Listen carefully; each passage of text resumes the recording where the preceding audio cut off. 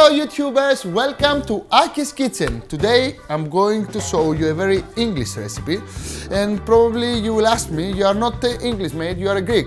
Uh, that's true, but I used to work in England for more than five years in good restaurants, so I came up with the best recipe for fish and chips. This is the best. The only thing that I want for you is just give it a try and I will prove it to you.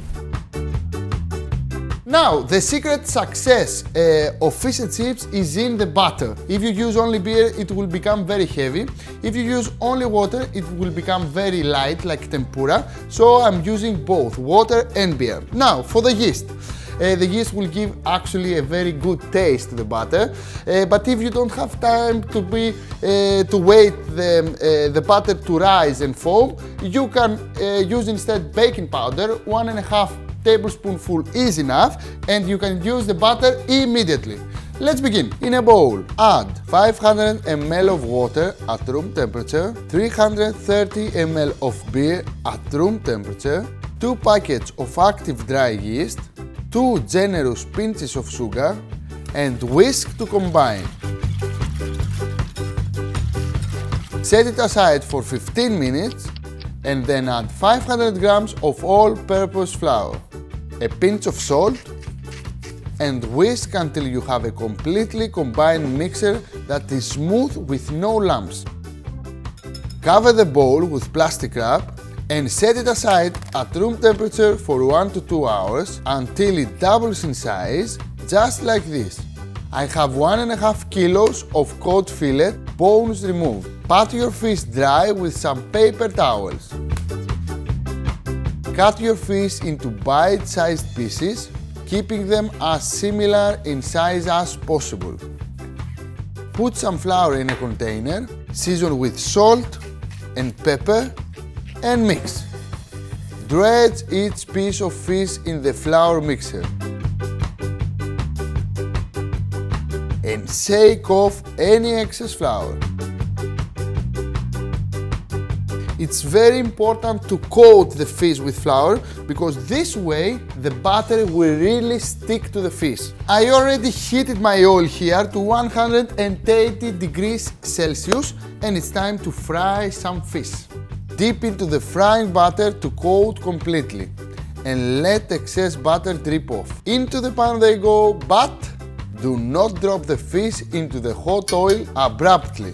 Dip half of the piece into the oil Gently move it around in the oil and as soon as the batter puffs up a little, gently release the other half into the oil.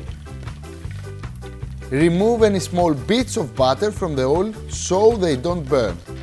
When it's crunchy and golden from one side, turn over and let it become crunchy and golden on the other side too. Look at this. And you see that? So puffy and so crunchy at the same time. At this point, you have to stay close to the pan. Don't do other things. You have one mission, to cook perfect the fish. Don't overcook it, don't undercook it. We need a nice golden color like this. When ready, transfer the fish with the spider onto paper towels.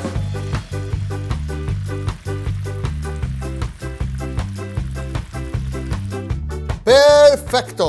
And it's time to serve these bad boys. The traditional way we serve uh, the fish and chips in Greece is with garlic mass, and I will show you. In Greece, we serve cotton chips just with garlic mass and olive oil.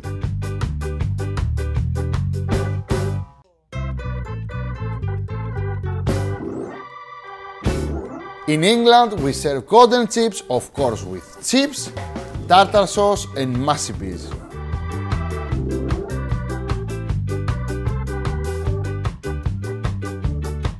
Look at how nicely cooked and golden they are. Crunchy on the outside and soft and completely cooked through on the inside. So good. Your kids will never say no to fish again. This is by far the best batter for fish and chips. Uh, you can see all the condiments like tartar sauce, masterpiece, garlic mass, uh, the chips at the end of this video. I will have more videos for you. Uh, please subscribe to my channel. Please let me know your feelings about this uh, amazing recipe. Um, I have to admit that it's so crunchy, but it's not oily at the same time, and this is very important. Thank you for watching me. See you next time. Bye bye. Yes.